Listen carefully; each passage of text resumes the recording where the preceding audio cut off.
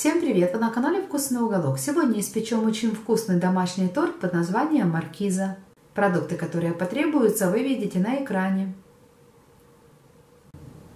Итак, приступим. Для рецепта берем 80 грамм сливочного масла, добавляем к нему 160 грамм обычного молока, и прогреваем до хорошо горячего состояния, примерно градусов 70-80.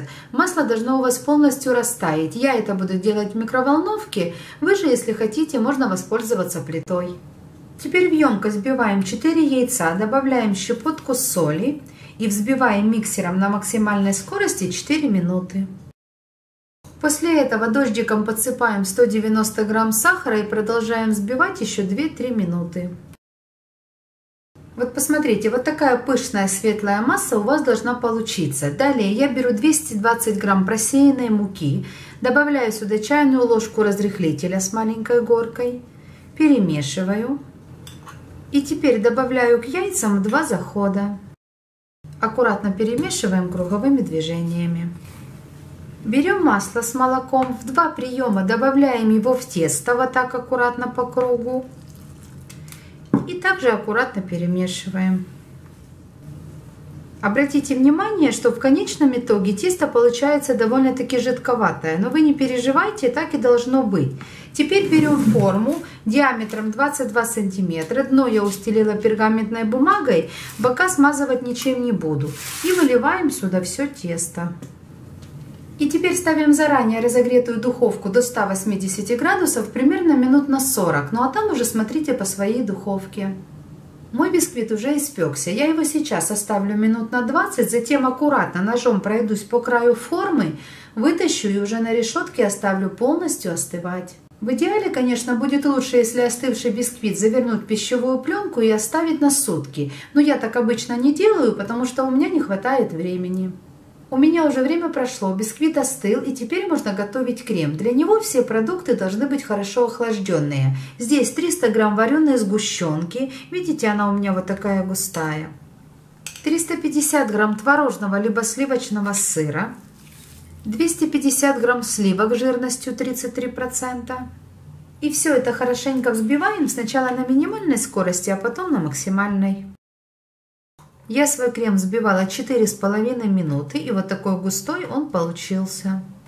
Возвращаемся к бисквиту. Я его хочу разрезать на три коржа. Вот посмотрите, видите, какой он в середине красивый и пористый. Теперь собираем торт. Для этого берем блюдо, смазываем его немного кремом, чтобы торт не ерзал. И выкладываем первый корж. Первым у меня будет тот, который был самый верхний. Для пропитки можно использовать все, что угодно. У меня сегодня мартини пополам с сахарным сиропом. Вы же можете использовать любой сироп, кофе, чай, компот, в общем, то, что у вас есть. Сверху крем. Дальше следующий корж. Пропитываем и снова крем. Последний третий корж я пропитываю вот здесь вот в стороне. И аккуратно кладу сверху. И теперь вверх и бока я полностью обмазываю кремом.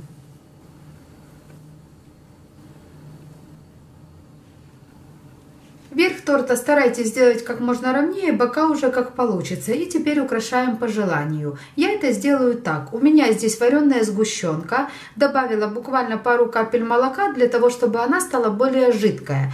Сделала на уголке дырочку. И теперь от центра сделаю такую спиральку.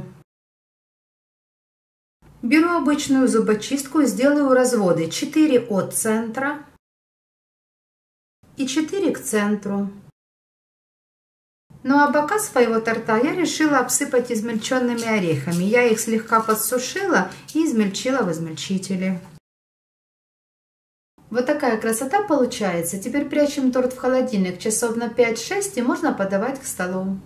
Вес моего торта кило 600, и сейчас я разрежу и покажу вам, какой же он в середине. Вот посмотрите, торт очень вкусный и хорошо пропитанный. Его можно приготовить к любому празднику, либо к тихому семейному ужину. Попробуйте испечь. Ну и, конечно, если вам понравился, ставьте лайк и подписывайтесь на мой канал. Будем готовить вместе.